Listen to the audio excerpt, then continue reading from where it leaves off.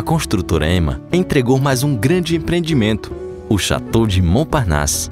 E como forma de boas-vindas, seus moradores receberam as chaves do seu novo lar, numa grande noite de festa que contou com o sorteio de um carro zero. Chateau de Montparnasse, mais uma obra de fino acabamento entregue rigorosamente no prazo. Construtora Emma, há 30 anos construindo com a qualidade que você pode confiar.